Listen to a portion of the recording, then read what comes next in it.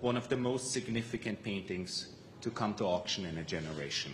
Christie's chairman for 20th and 21st Century Art, Alex Rotter, unveiled Monday a work he and the auction house expect to set the new record for the most expensive piece of 20th century art to sell at auction, one of Andy Warhol's 40 by 40 inch Marilyn Monroe's. With an estimate of around $200 million. Warhol started his Marilyn series in 1962, uncharacteristically returning to the icon two years later. It shows what Marilyn meant to him and now what Marilyn means to us. And also uncharacteristically for this fast working artist, using a meticulous screening technique so labor intensive he never used it again.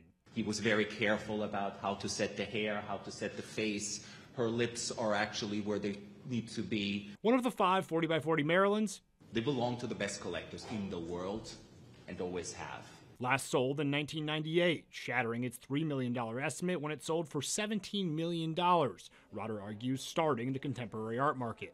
When a painting like this uh, comes to auction, it changes the market not only for Warhol, but it changes the market itself. All of the proceeds from the auction of this Marilyn, owned by the Thomas and Doris Ammann Foundation, will go to yet to be identified charities benefiting children, their health, and education over the next three to six years. She stands along the most famous and most recognizable portraits, not only of our time, but of art history. Rotter called the work one of the most transcendent images of the 20th century, comparing its significance to some of the most iconic portraits of all time. Da Vinci's Mona Lisa, with Picasso's Demoiselles d'Avignon, with Manet's Olympia. The painting's now available for appointment viewings at Rockefeller Center before departing on a trip to Hong Kong and Taipei in early April and going up for auction in May. I'm Matt King, Fox 5 News.